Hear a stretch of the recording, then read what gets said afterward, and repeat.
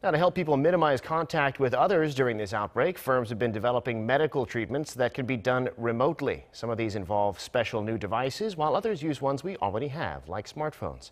Kim Bo-kyoung tells us more.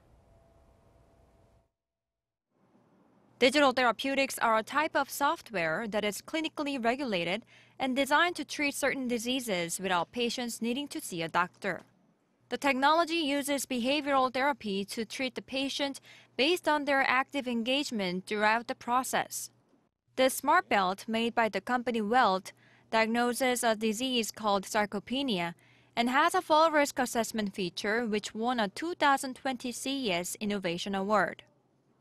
Sarcopenia, which is decreasing muscle in the aging population, can cause the fall. And, and through the belt, we can predict, uh, we can measure gait pattern, including gait speed and gait balance. And we can diagnose sarcopenia risk, and we can calculate the risk of fall before they fall.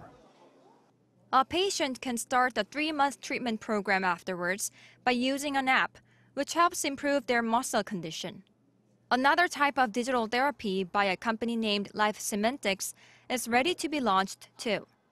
This mobile application Epil breath is also a type of digital therapeutic that enables patients with respiratory diseases to do the optimal amount of remedial exercise by recording their health conditions such as oxygen levels.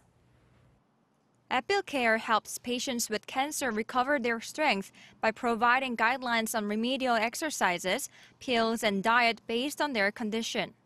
The CEO says South Korea could have a head start, given that it is good at fusing together different technologies.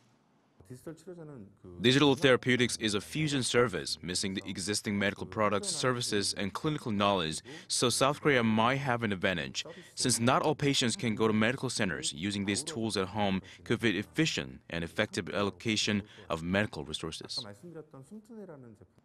Such tools based on sophisticated algorithms are likely to become more common in the future, enabling patients to better monitor their health.